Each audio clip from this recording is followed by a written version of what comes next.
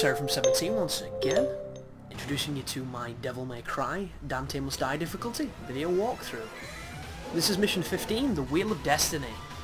Not to be confused with the Pick of Destiny, which I didn't think was that bad. Uh, a lot of my friends really hated that film, but I watched it and I thought it was daft enough to be enjoyable. Don't get me wrong, I was well out of the Tenacious D phase at that point because they only made one album and half the songs in it were fucking dog shit. But the Wheel of Destiny anyhow. This is an interesting mission because we're going to be doing a couple of trials and then we're going to be taking on Griffon for the third and final time. And this area here is really dangerous and I never really thought it was until I think this recording. I took advantage of these fetishes and they kicked my ass. They, yeah, this is it, this is it. No, no, no, maybe not. You see, I, I, I cottoned on to what was happening right there because if you get trapped in that puppet string attack that they just did, this is it, I think. I allow him to devil trigger because I'm using a shotgun, yeah. That's my mistake here, people. If you're wondering what I'm doing wrong, I'm using a shotgun. Grenade launcher is the only gun you really want to go near because it just doesn't stun enough. That's why I'm doing devil triggered stingers because I know I'm in trouble right now because this guy's devil triggered and he's he's really strong, he's got loads of life and there's more than one fetish in this room and if I attract a bunch... Look at this bullshit. Look at this. This is what you want to avoid. This is why you never let things devil trigger. Devil trigger and they're spawning in. It's like I'm currently in my room. When I was playing this, you can imagine how I was feeling at this moment in time. I just... My mouth is agape. It's one of those like, motherfucker moments. So instead, I go into Gerard Butler mode. I start, this is spartering everybody. And luckily enough, I think I pull it back. I say I think I pull it back, it wouldn't be in the video if I didn't pull it back. But that is what happens if you let the enemies get any kind of advantage. Never ever give them any small mercies or that will happen. And it happens to all of us, we all get careless, it's just one of those things, but that is why you've not seen me messing about with the enemies on this difficulty, because you just cannot afford to, unless you play this game far too much. But keep on progressing forwards, back into the bullshit room, and look at this. How fun is this room? Like, if you told people, if you even phrase this in a production meeting nowadays, people would be like, where exactly does this add to the game and make it anything that remotely resembles fun? And it, it'd probably be in a From Software meeting and it'd get entered into the game in every section of the game before a save point and a bonfire. But in every other game with a brain and a sense of, you know, fucking pride, or even a sense of mercy, it wouldn't be in it. I mean, look at this shit. Like, ideally, you should probably try and kill this guy in this very small environment and then do the jumping sections, but I just thought balls to that, and I just did what I just did then. But, skip this room, there's no point fighting them again unless you're actually looking for orbs. I thought there was a fetish up here, and there's not. I think he's up on the opposite side of this area. If this is your first time through this area, you can get the Nightmare Beta from doing both sides of this challenge area of the Colosseum. And uh, this is another one of the Scythes, the, the Death Scythe character. Which, with the looks of it, I'm actually going to never fight him in this room. I don't even know why I'm doing this. Look, I mean, look. You should never ever fight an enemy on their terms. It's just not cool. And you'll get your ass slapped. I mean, some people like that, but on a game, less so. That's the fetish I was looking for in the previous room. That's the reason why I tried to kill him as well, because you'll notice the fetishes sometimes, especially uh, if you've not realised, but when you're low on life on this game, there is a percentage that they will drop a healing item. And a lot of the times, if it's a big drop, it's going to be a full heal.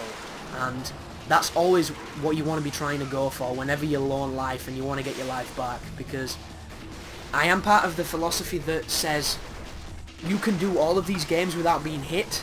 It's just extremely difficult to do that, and it's a, a, a showcase of pure mastery that I don't quite have.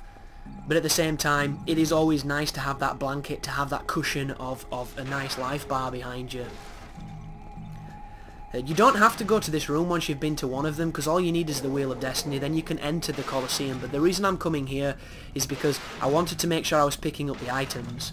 And if anybody's going to be doing the item spam to get through Dante Must Die, you're going to be doing this a lot. Because when you come back through these rooms, there's going to be holy waters, there's going to be untouchables and things that you found the first time through. And they're the items that you're going to be farming. because obviously the more of those that you have, the easier this difficulty will be. But there's the door, there's the lances that are needed for it, and then once you enter this, uh, this is your next boss arena. And if you didn't, you know, get the impression that this was a boss arena, you haven't played enough games. Because giant circle, open space with nothing in it screams boss fight. And lo and behold, here we have it. So Griffon's a pussy, believe it or not. He's a big, big pussy. And I say this because Meteor does so much damage to him. He can hurt you, he can kill you, and he is quite lethal when he wants to be. But for the most, pretty damn simple. You just need to be aware that that electricity stuff is annoying as shit. The camera is annoying as shit. As soon as you knock him down though, this is when the fight really begins, and this is when you have to start actually playing. So, Griffon's going to charge you. Or he's going to do that move, which is a massive electricity bullshit thing. Yeah, do not stand anywhere near him. And what he's going to do is after that cavalcade of lightning, one strand's going to come for you, and all you need to do is keep walking sideways and then do a roll as it approaches you to evade it. What he'll do then is he'll roar and he'll charge you. Once he charges, time your jump and then get some free attacks off on him. Move back into position and hit him with another meteor. All you want to be doing is charging your Devil Trigger so you can hit him with Meteor. The grenade launcher is fantastic for it. Taunting is also very good. Just watch out for that move, time your jump so he doesn't hurt you, and just rinse and repeat. This boss is easy, folks. It's just, it's intimidating as hell, and because it's this difficulty, any one move can do enough damage to really knock your confidence. But there we go, as soon as you stun him, this is when you really need to capitalise. So get super close, you can do Infernos if you want to, you can charge Meteors if you want to. I didn't really have any Devil Trigger to do anything really damaging, but it doesn't matter, because I've fought this guy, he's going to do his Lightning now, so back up, watch for the Lightning, see the one that comes towards you and roll. There you go. It's followed by another one, but the second one usually always misses because it's slightly off. Oh, wow. I suppose it all depends on if the first one hits you, because it might knock you into the second one.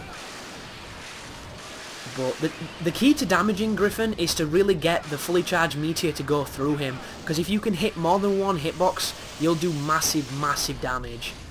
Uh, occasionally you'll do fuck all, because it'll miss or it'll go through him and it won't hit any of his vitals, but it's all about patience, it's all about practice and technique, and when you beat him you can say that you've done it, and you've done it on the hardest setting, and it's a nice little pat on your back. Just don't get greedy, because uh, I myself get caught all the time trying to get an extra move in when his life's low to try and finish him off, because I go back into that childhood mentality of, you know, just bashing attack and trying to win and hoping I don't die and holding my breath, and sometimes it doesn't work, so just be really aware that the more patience you have in these fights, the easier they will be. If anybody's seen Tremors, Griffon's face really reminds me of the Graboids, which were the, the creatures that are underground if you've never seen the movie.